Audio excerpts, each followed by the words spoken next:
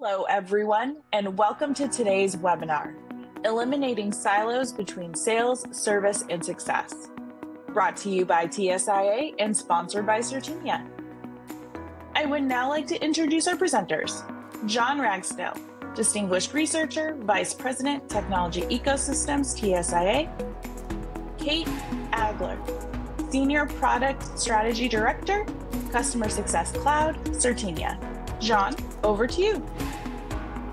Well, thank you, Vanessa. Hello, everyone, and welcome to today's webinar. We're talking about eliminating silos between sales, service, and success, and we're going to have a particular focus on professional services. So, why specifically is is this a poor customer experience and expensive for the business? Um, in siloed organizations, I mentioned the customers tend to have to repeat themselves, and then they feel that organizational structure. And to add to this, there can also be different customer constituents really speaking to different organizations within the vendor. You have uh, the executive sponsor really sharing their business challenges.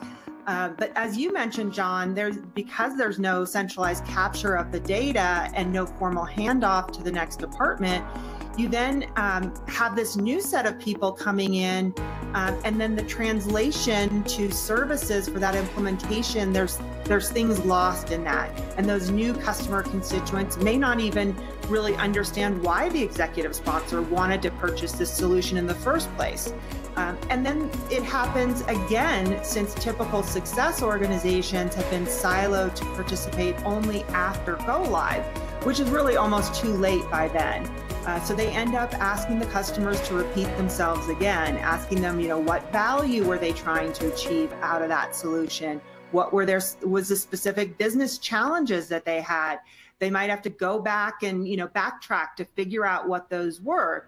But at the same time, you know, they have the responsibility of trying to help those users adopt the solution but without having that common understanding of what that means you know it's you're you're set up for failure there.